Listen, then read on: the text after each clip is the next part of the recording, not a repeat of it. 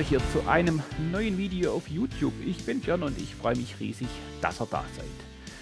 Tja, Bekleidung zum Radfahren oder Mountainbiken oder wie auch immer im Winter. Ähm, um das geht es heute ein ganz ein bisschen genauer gesagt um die passenden Schuhe.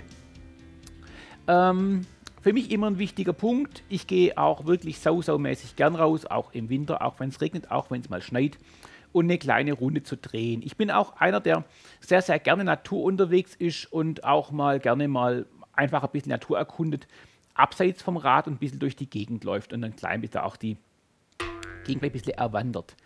Und dazu habe ich mir jetzt schon seit eineinhalb Jahren so ein bisschen in der Warteschleife gehabt, den neuen Adidas Trailcross mit Gore-Tex-Membran zu holen. Ist ein kleiner Nachzügler, weil er kam jetzt erst dieses Jahr raus oder jetzt erst gerade im Moment raus, weil er hätte eigentlich mit der Kollektion rauskommen sollen von ihm hier.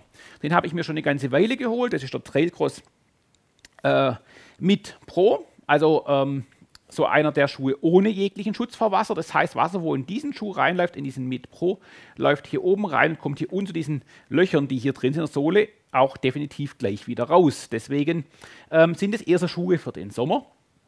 Ich finde es auch ganz cool. Ähm, haben eine relativ weiche Sohle. Zu denen habe ich schon mal ein kleines Video gemacht, ganz am Anfang meiner Kanalzeit. Ähm, halt Link euch gerade mal oben in der Ecke, also auch unten in der Beschreibung rein. Es ist halt wirklich mehr oder weniger, wie gesagt, das ist ein Schuh von Sommer, ein Wanderschuh mit Bike-Anteil oder ein Bike-Schuh mit Wanderanteil, wie auch immer er gesehen wird. Hat die klassische Dotti-Sohle, finde ich immer noch richtig cool ähm, aber halt relativ weich. Man kann mit ihm relativ gut laufen und relativ gut auch ähm, abseits des Bikes noch im Wald und Co. gut unterwegs sein. Macht wirklich richtig Laune. Nur wichtig, der ist nicht wasserdicht. Das heißt, das Wasser läuft eins zu eins rein und unten wieder raus. Das heißt, man kann sich auch mal im Sommer relativ schnell nasse Füße holen. Noch bei dem Schuh, nach eineinhalb Jahren, kann ich es ja bald sagen, wie ich ihn so ein bisschen finde. Ähm, der hat wirklich den Vorteil, dass hier oben an diesem Schaft, wo hier oben ist, mit diesem kleinen Neopren-Innensocken natürlich kein Dreck in den Schuh, keine Steine reinfallen. Das macht diese Sache schon relativ schön, muss man ganz klar sagen, weil man mag ungern Steine im Schuh haben. Wo man ein klein bisschen aufpassen muss, und dann gehe ich auch zum aktuellen Modell über, bei diesen ganz normalen Trailcross mit Pro, ähm, wie auch bei diesen hier gleich. Die Sohle ist relativ grobstollig gegenüber jetzt normalen Freeridern, wie da hinten jetzt hängen. Und die haben halt ein bisschen den Problem oder ein bisschen aufzupassen, man sinkt in den Pedalpins eine ganze Ecke ein bisschen mehr ein. Und man muss halt ein bisschen dran denken, dass man beim Absteigen vom Rad auch den Fuß ein klein bisschen höher heben muss als jetzt beim klassischen 510 äh, Freerider. Gut, wir haken mal die ab, die wir jetzt schon gefahren sind eineinhalb Jahre immer mal wieder im klassischen Einsatz, vor allem im Sommer ganz, ganz viel, im Winter eher weniger. Der ist im Winter einfach zu zugig und zu kalt und mit dem habe ich einfach im Winter nicht so wirklich viel Spaß. Was noch ein Unterschied zum aktuellen Gore-Tex-Modell ist, ich habe hier noch so eine kleine ähm, Pedal- Anschlagschutzzone drin mit so einer D3O-Membran, dass es da auch ein ganz klein bisschen den Schlag abnimmt, wenn man sich mal irgendwo den Knöchel anhauen könnte am Rahmen oder an der Pedal oder Kurbel.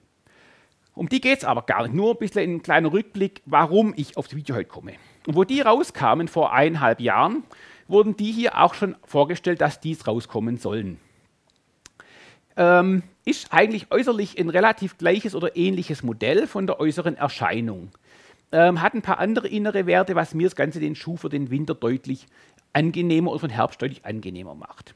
Wir haben hier jetzt eine Gore-Tex-Membran, das heißt, der Schuh ist eigentlich wasserdicht. Ich sage eigentlich, leider mehr zu, ich habe ihn schon drei, vier Mal Probe getragen, habe wirklich auch ein bisschen mal geärgert, dass ich mal einen Bachlauf mitgenommen habe oder eine Pfütze durchlaufen habe, um einfach sehen, wie dicht ist er denn wirklich. Denke ich auch ein wichtiger Punkt. Zu seinem Vorgänger ist eigentlich relativ vieles einfach auch gleich. Wir haben eine Dotti-Sohle, oder seinem undichten Vorgänger. Wir haben eine Dotti-Sohle genauso auch relativ weich und relativ tief. Der Schuh ist relativ weich, also wenn ihr lieber steifere Sohlen fahren wollt zum Biken, dann wird das wahrscheinlich nicht ganz euer Schuh werden. Äh, müsst ihr einfach mal sehen. Ich fahre relativ gern auch ein bisschen weichere Sohlen, ähm, weil ich auch das Pedal ein bisschen lieber gern spüre, aber das ist wirklich abhängig von eurem Fahrstil. Wie gesagt, hier auch deutlich größere äh, Dottis als äh, ähm, Stollen, wirklich als Wander- oder als Laufschuh. Auch abseits des Bikes richtig cool, kann ich schon mal so weit sagen. Habe ich auch schon mehrfach getestet. Da macht er wirklich richtig Sinn, auch als Outdoor-Schuh mit Bike-Anteil oder als Bike-Schuh mit Auto-Anteil, egal wie auch immer. Er hat eine Gore-Tex-Membran drin, das kommen wir gleich dazu. Ähm, äußerlich genau gleich. Was wir auch hier oben haben, ist diese Neoprensocke. Die hat man allerdings jetzt hier, also dem schon auf, so ein Klett zum Aufmachen und einfacheren Einsteigen und dann wieder zumachen, dass oben nichts in den Schuh hineinrieselt an Steinchen, Dreck und sonstigen Sachen. Und da kommen wir jetzt auch an einen kleinen Punkt, was ich an dem cool finde, was bei dem alten immer das Problem war. Das Anziehen mit dieser Neoprensocke ist immer ein klein bisschen umständlich. Ist hier eine Idee besser geworden, man kann es oben aufmachen und kann den ein bisschen bequemer anziehen. Finde ich nicht ganz schlecht, das ist an diesem Gore-Tex-Modell, finde ich wirklich cool gelungen. Aber halt nicht ganz so ganz cool. Aber das kommen wir jetzt gleich noch zu zwei, drei kleinen Mangos von der ganzen Geschichte. Also das haben wir bisher. Bikeschuh relativ weich, kann man gut nehmen, auch zum Laufen, zum Wandern, zum Biken und Wandern, Wandern und Biken, wie auch immer. So würde ich ihn umschreiben und so würde ich ihn auch für mein Profil als ähm, Mensch, der gerne rausgeht, Natur, auch mal gerne ohne Fahrrad durch die Gegend dann läuft, wenn er mit dem Bike irgendwo hingefahren ist. Ein mega cooler Schuh. Und vor allem aufgrund der Membran hält er den Fuß eigentlich auch trocken. Und ich habe ihn wirklich auch mal aktiv geärgert, mal an einem kleinen, ähm, ja, was war es, ein kleiner Bachlauf, einfach auch mal oben ein bisschen in die Schuhe spritzen lassen. Und es kam im Schuh innen eigentlich auch nichts an. Eigentlich. Ich denke, Wahrscheinlich wird er da auch nie dieses Problem haben, dass er den Bach durchlaufen müsste. Das, sollte, ja, das ist eh zu spät eigentlich. Egal. Das Problem ist nur, diese Gore-Tex-Membran hört ungefähr auf dieser, sag's an dem Schuh, hört auf dieser Ebene ungefähr auf. Das heißt, sobald er halt höher kommt mit ähm, eurem Wasserstand, also sprich höher als ungefähr so, dann läuft es halt euch irgendwann oben in den Schuh rein. Das ist ein bisschen doof.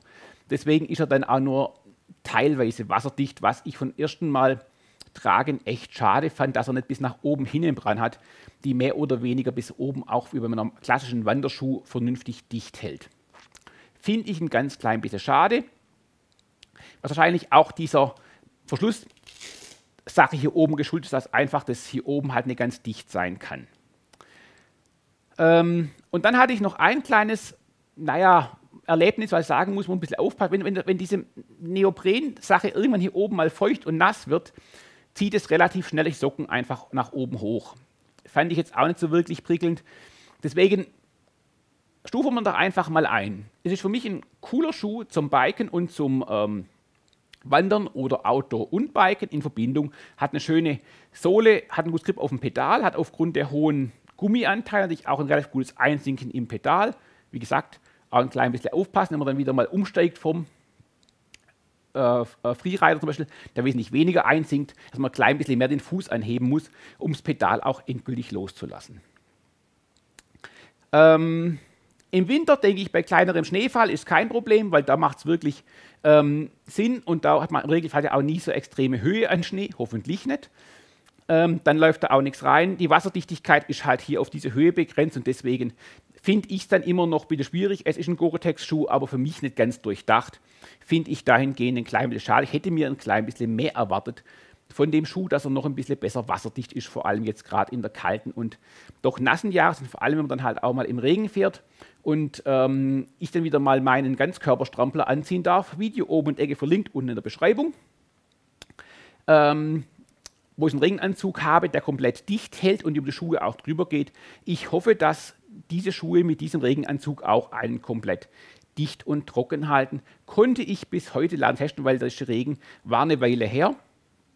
Ich wollte jetzt endgültig mal das Video machen, bevor der Herbst und Winter anfängt für euch und deswegen einfach mal raushauen.